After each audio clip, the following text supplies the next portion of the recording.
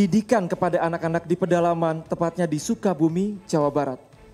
Dan langsung saja, Liputan 6 Awards dengan bangga menyerahkan penghargaan kategori pendidikan, Pendidikan kepada Neneh Hasanah.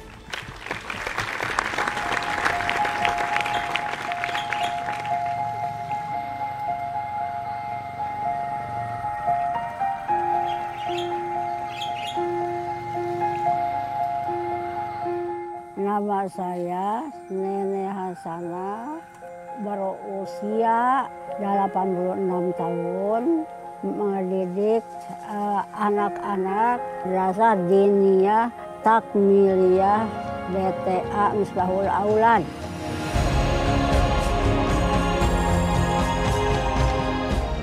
Seingat Nenek Hasanah, sejak berusia belasan tahun, tepatnya pada tahun 1954, ia telah menjadi seorang guru. Untuk me- mempelajari tata agama Islam supaya anak-anak Islam bisa sembahyang, bisa baca Al-Quran, bisa akhlak budi pekerti yang baik. Khawatir ka- ka- kalau sasar dalam agama, Allah sabab bak- bakal mati semuanya. Allah Allah tidak menerima orang yang tidak beragama, tidak beribadah. Ah, itu ikhlas we. Asal ada keriduan Allah. Eh, tengah wa- mau mengejar sampai keluar nyawa. Kalau udah tidak ada nyawa, ya bebas.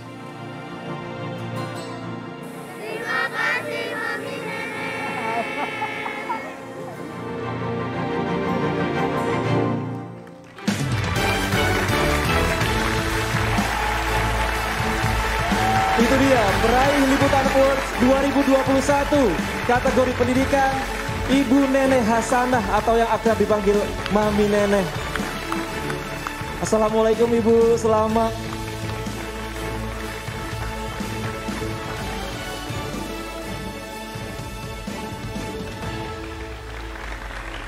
Assalamualaikum Ibu. Ibu, Mike, Ibu ini sudah 83 tahun usianya. Mau mengajar terus sampai kapan Ibu kira-kira? Mau mengajar sampai kapan? Mama ya mengajar. Saya mengajar, memajak, memang- mengajar. Sampai kapan?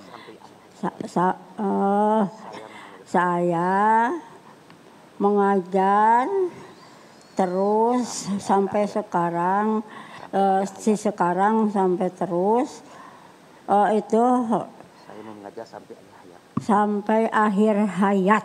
Alhamdulillah. Insya Allah semoga diparingi umur panjang. Baik Pak, ini ada dari Kementerian Agama ya Pak ya?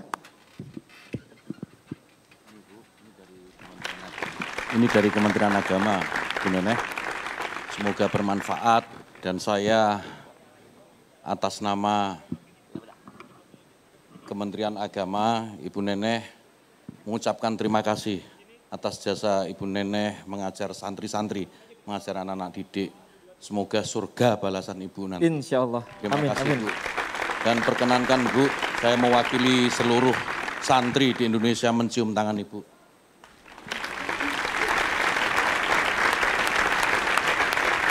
Baik, sekali lagi selamat Ibu Neneh.